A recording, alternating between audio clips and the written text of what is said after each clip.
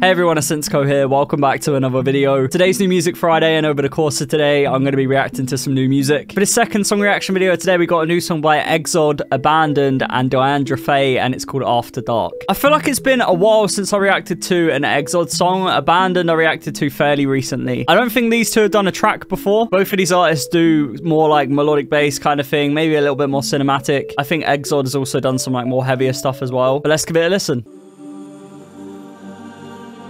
I was going to say maybe it'll be a little bit cinematic because I think Abandoned's been doing some more sort of cinematic-y styled stuff recently, so...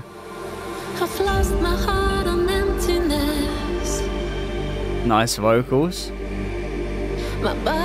Oh, I love these like really moving sort of pads and atmospheres here. That's really nice.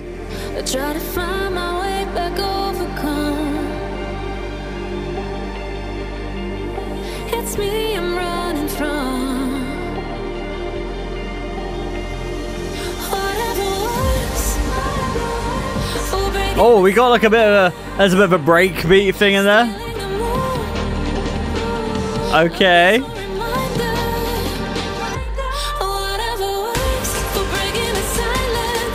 Okay.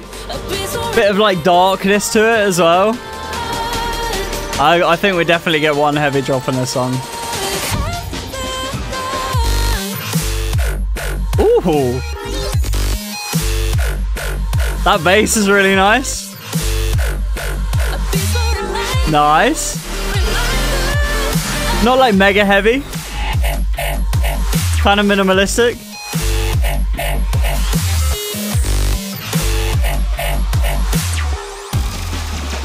Sick. Very different. I don't feel like I've really heard anything like that in a while. Like ashes in my hand. But maybe we'd have some sort of drums or something here, but it's keeping it quite tame still.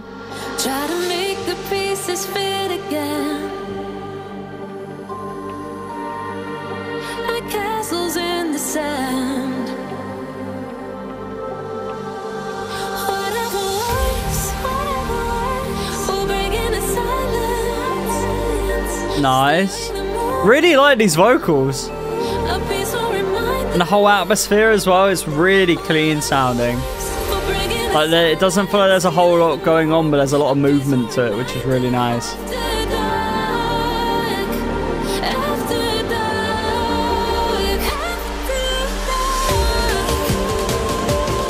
Mm, maybe a little bit heavier here.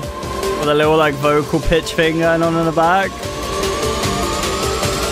What we got? Oh, nice. Wow. That's sick. Really big drop. Nice and bright. Bass is quite like heavy in there too. The like simplistic lead on top's really nice.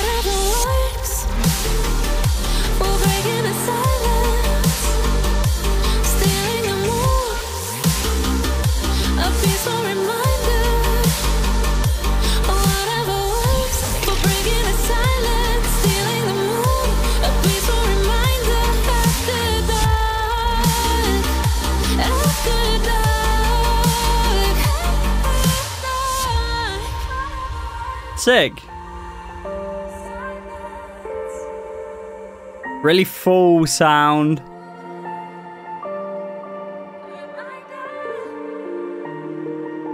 Very moving and cinematic, I feel like. That first drop was kind of like heavy. I wanted it to go a little bit heavier, but it was kind of like unique. It felt quite fresh sounding, which was nice.